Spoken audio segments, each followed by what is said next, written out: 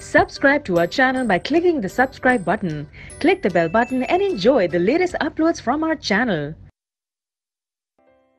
Question 2 How is the movement of leaves of the sensitive plants different from the movement of a shoot towards light?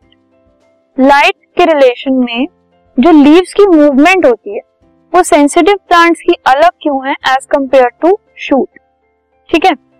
So the movements of leaves of the sensitive plant जो sensitive plant होती है are touch sensitive and independent of growth and movement of the shoot towards light which is related to growth known as phototropism जो leaves हैं sensitive plants की, ठीक है? उनकी जो मूवमेंट होती है, वो टच सेंसिटिव होती है।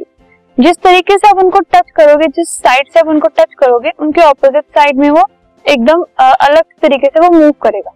ठीक है? जो कि उसकी ग्रोथ और डेवलपमेंट पे डिपेंडेंट नहीं है।